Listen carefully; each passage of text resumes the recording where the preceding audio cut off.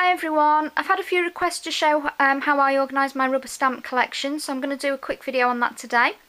Um, most of my stamps are red rubber stamps and they're mounted on cling mounts and I store them in transparent boxes which you can see along here.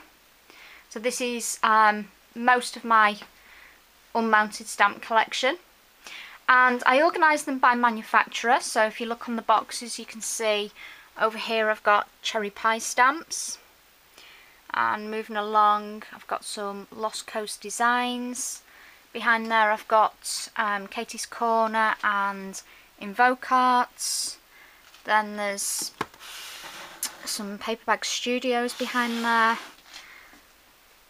These ones at the front are Paper Artsy. And I've got quite a lot of Paper Artsy so on the labels for these ones um, not only do I put the name of the company, but I add a little bit more detail. And it's quite easy to do for Paper Artsy because this particular company separates their plates by theme. So I know in this box, um, from the Ancestors theme, I've got plates 1 and 2. From the Asian theme, I've got plates 2 and 4, etc, etc. Um, and I tend to do that as well where I've got companies that name their plates. So if I just show you behind here, um, this is Oxford Impressions who name their plates. So I know that in this box I've got the Maiden Voyage plate and I also have the School Days and the By the Sea plate as well. If they don't organise their um, stamps by plate or they're not named or maybe I've just got single stamps, they're not from a plate, um, I tend to label my boxes. So from time to stamp, I've got three boxes of time to stamp images. Um, so they're labelled box 1, box 2 and box 3. Um, and the reason I do that is because I also um, print out the images. I'll, I'll, show you how I organise my indexing system um, a little bit later. Um, in addition to having the, the labels with the company name on the front, inside the boxes, if I just show you, these are my Lost Coast um, images. Um, what I tend to do is to stamp out the image and laminate it and then because the cling mounted it'll obviously stick on. And I know exactly which image it is and it makes it a lot easier particular particularly if you've got like text images that can be quite difficult to read when you've just got the the back of the rubber. Um, so that's another system that works for me and I quite like that. Um, in addition to the cling mounted stamps. I've also got clear stamps but not quite as many of those. So they're organised um, just in one of these drawer systems. And find the right drawer there we go. So these are my um, clear stamps. They're not organised by manufacturer because as I say I've not got quite as many of those. Um, red rubber is my preference to the polymer stamps because um, they last longer, they don't get affected by sunlight in the same way and they're pretty much going to last you a lifetime if you look after them. Whereas these, they've got a limited lifetime really. Um, and that's the other reason I sort of keep them in this drawer rather than on the shelf because when the sun comes through it sort of hits that shelf where the rest of my stamps are stored so they've got a little bit more protection there. Um, below that I have my alphabet stamps which again I just keep these together. Um, most of them are in little packages. Um, there's some foam ones at the back there that you might have seen on a haul video. Not by manufacturer because I like to be able to just choose which font I want to use. Um, so it's just easy to keep those together. Then my um, wood mounted stamps are also in these sort of drawer units. Um, the ones I use most are below my desk here. So I've got two units that are both three drawers each and these are my favourite companies as I say. I've got other units like this um, in my craft room but um, I don't use those as often as these ones. So Stampers Anonymous is without doubt my favourite stamp company and I do have quite a lot of their stamps. I've got some of the older Tim Holtz ones here that I bought before um, they had the cling mounted sets so there's there's quite a few of those and then there's other images by Stampers Anonymous as well that I like. So there's another one.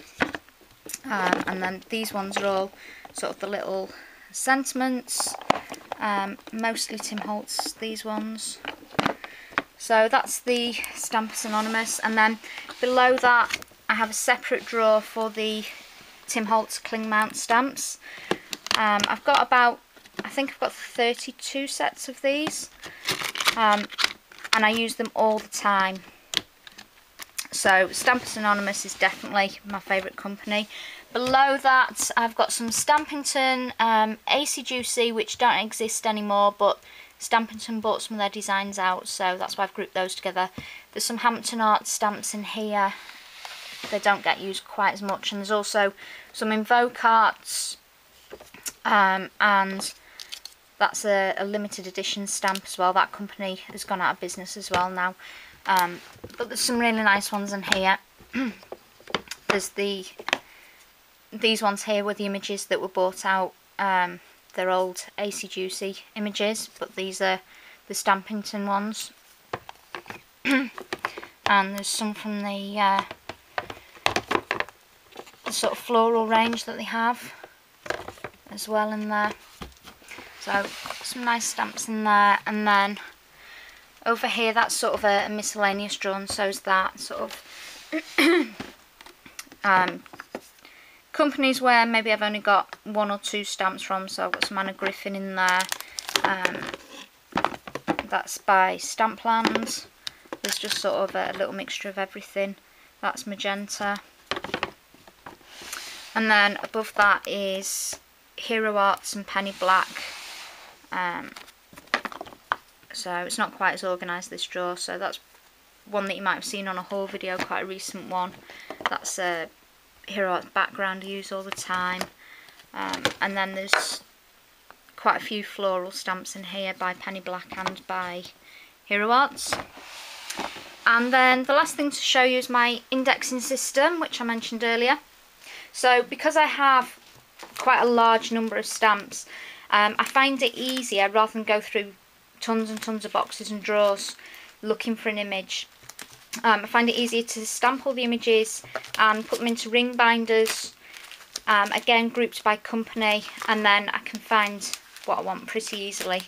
Um, so I've got my Oxford Impressions ones here, um, more Oxford Impressions, and then these are time to stamp, and what I've done with these, um, although they do name the plates, um, I've put these in sort of separate boxes because I've got some plates and then some that are sort of um, loose stamps that weren't from a particular plate. So um, I know that all these images, for example, are all in box one, as are the next lot. And then I get on to images that are in box two, so I know exactly where to find them. And that system works really well for me. It really keeps me organised. Um, it can be a little bit of a pain initially when you're stamping out all the images uh, if you've got a lot but once they're there it's so easy just to flick through. So I hope that's been useful to somebody and I hope it's answered the questions about um, which system I use for organising my stamps. Okay thanks for watching. Bye